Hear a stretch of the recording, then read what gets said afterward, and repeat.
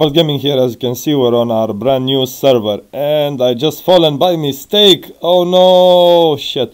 What am I gonna do? I don't know where I died. Oh, wait a second. Look what our server has, magically.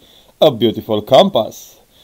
Compass, I think? Whatever, that will let us exactly where we died.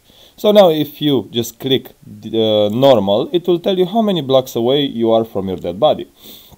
As you can see, even the needle works properly, like tells you exactly where to go in case you're playing on survival, because this is a survival server. We try to add things that will make your life a thousand times easier on our server.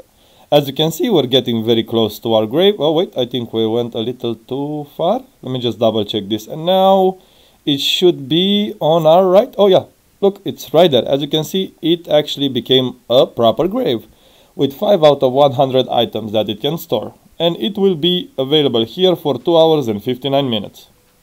It also tells you the pretty much reason you died and after you died, give me all my items back and it also gave me a mortuary with my name, the cause of death and location. So yeah, feel free to join us. IP in the description. Don't be afraid.